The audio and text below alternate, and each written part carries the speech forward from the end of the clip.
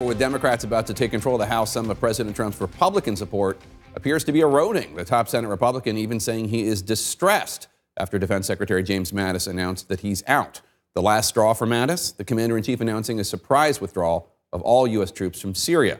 One Republican backing the president's decision is Senator Rand Paul of Kentucky, a member of the Senate Foreign Relations Committee. Senator Paul, thanks so much uh, for joining us. I appreciate it. Uh, I do want to start with the shutdown uh, just because obviously that's the pressing news in Washington right now. When we've had shutdowns in the past, it's usually because the Republican Party is trying to get the federal government to spend less money. This is the first time I can ever think of that Republicans are forcing a shutdown because they want to spend more money uh, and not offset by any tax increases or spending cuts. Do you support the president shutting down the government until he gets the $5 billion for the border wall? You know, I've never been a fan of saying we're going to shut it down purposefully, but I've also not been a fan of keeping it open and spending so much money that we're bankrupting the country. This year, the deficit will be about a trillion dollars. And so I don't want to add more money. The, the bill they've got up there already looks like a Christmas tree with all things added. I'm not against border wall funding, though, but I would find it and pay for it. Right now, we're spending 50 billion a year in Afghanistan. We could easily find $5 billion for a wall if we weren't spending so much money you know, building and rebuilding Afghanistan. Let's turn to foreign policy. It's clear the president went against the advice of his defense secretary, uh, his top official leading the fight against ISIS, Brett McGurk, and his national security advisor, John Bolton, when making the decision to withdraw troops uh, from Syria. You obviously support this policy. Did you talk to him about this? Yeah, I have, and I'm very proud of the president. This is exactly what he promised. And I think the people agree with him, actually. I think people believe that we've been at war too long and too many places, and that we do need to turn attention to problems we have at home here roads, bridges, schools. We have a lot of problems in our country, and I think people are tired of spending. You know, we spent several trillion dollars on these wars everywhere, and I think the president promised that he'd be different. And it's really one of the reasons he won because he actually attracts independents who aren't beholden to either party who say, you know what, why don't we turn attention back to America? After the president's surprise announcement, you applauded the decision. Uh, but it seems like one of the last straws for Defense Secretary Mattis before he resigned was that the Turkish defense minister publicly threatened to slaughter uh, the U.S.'s Kurdish allies as soon as the United States withdrew. Does, does that not concern you at all, what the Turks might now do as soon as the U.S. is gone?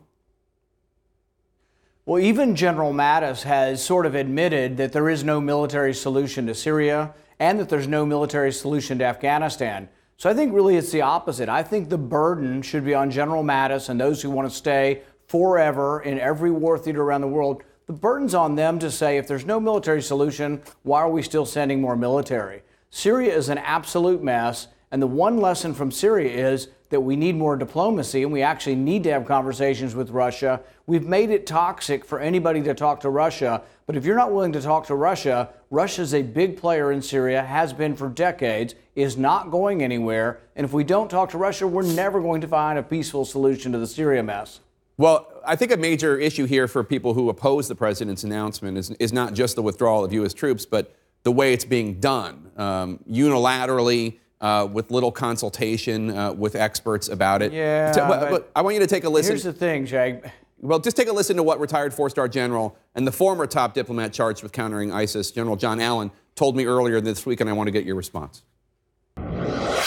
Look, we all thought at one point that they, they would come home. But a precipitous departure of our troops could create a military disaster. And a global coalition will think twice about coming to help the United States if we need to in a great emergency because they know we won't consult with them when the time comes.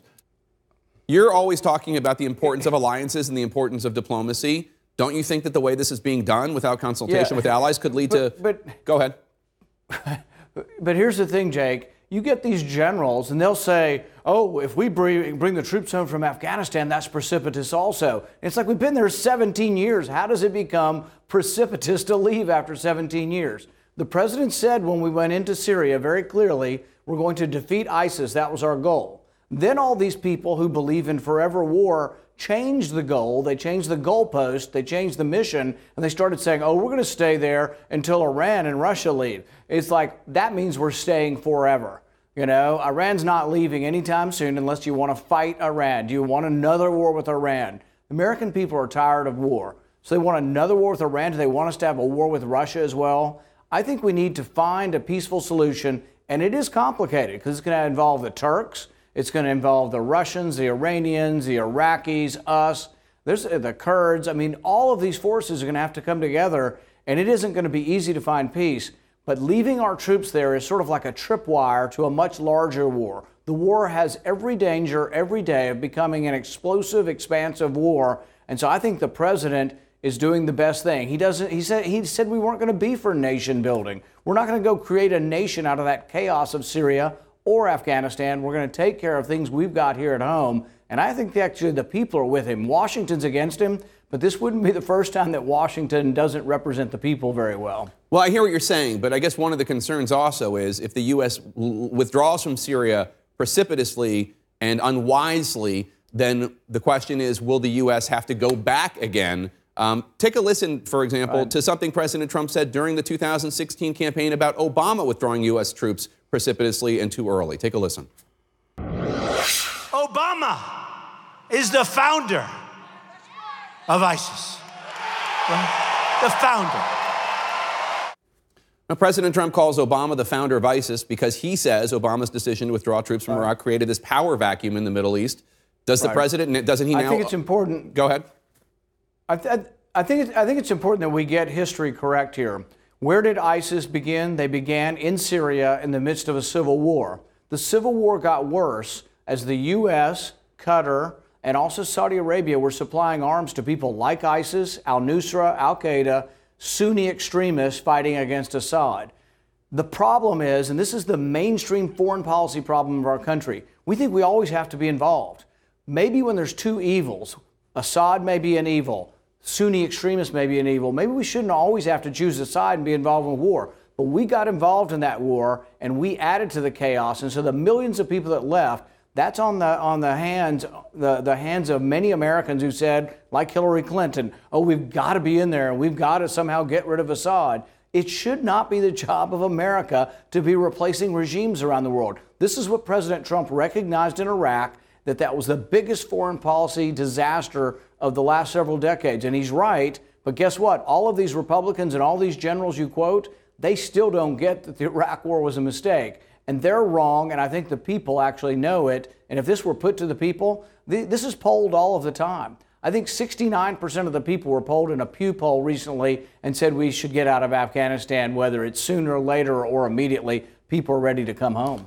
Uh, you, are still not talking about the way that we're doing it, but I do want to ask you just one philosophical point, and I, I don't want you to, to think that I'm being rude here, but I'm just wondering in the last 20 years, is there any act of U.S. intervention with military force abroad that you support. Uh, do you did you support going? Yeah, I supported. Go ahead. Yes, after we were attacked on 9/11, I did support to go into Afghanistan. I would have voted for the resolution, but we're ignoring the resolution. It said we'd go after those who planned, abetted, aided the people who attacked us. It never said anything about associated forces. Never said anything about war in Yemen, Somalia, Mali, Syria. None of this was ever authorized by Congress. So what we are doing in like seven different war theaters right now is unconstitutional and we shouldn't be doing it. But I did support going in after 9 11, but I have not supported the nation building. I would have declared victory long ago and come home. And so when the president declares victory over ISIS, he's exactly right. We took back 99% of their land. Aren't these people going to stand up and now fight for themselves? Can they not do anything? And it doesn't work to have Americans there policing Muslim lands. It just engenders more terrorism. The longer Americans stay, the more terrorism you'll have. We are so forward deployed that we can attack on a moment's notice from anywhere on the planet. So us leaving doesn't mean we don't have to be involved.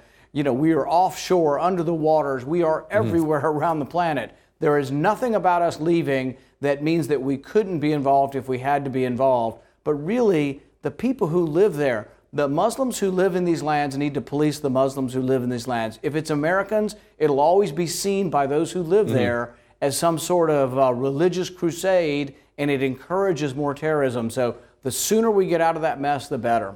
All right, Senator Rand Paul, there's a lot you said there, but unfortunately, we're out of time. Uh, Merry Christmas to you and your family, sir. We really appreciate it. Same. Thanks, Jake.